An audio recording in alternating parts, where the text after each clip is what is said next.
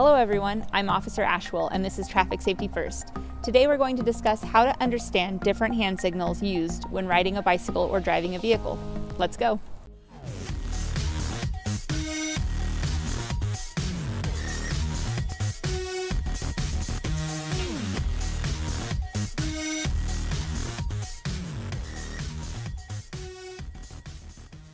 Depending on how long ago you took your driver's test, refreshed yourself on the Oregon Driver's Manual, or really study the appropriate hand signals to use when riding a bicycle or driving, you may not fully remember how you can use your arms to alert others on the road of your intended change in travel should signaling be required.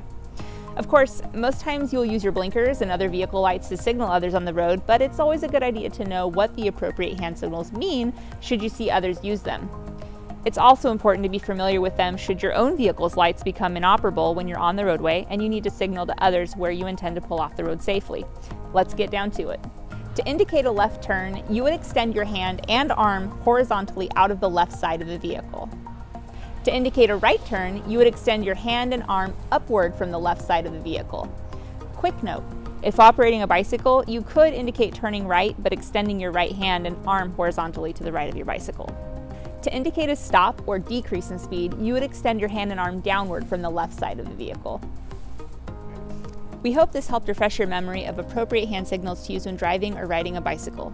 For more information on this topic, check out Oregon Revised Statute 811.395. Have a great month, everyone.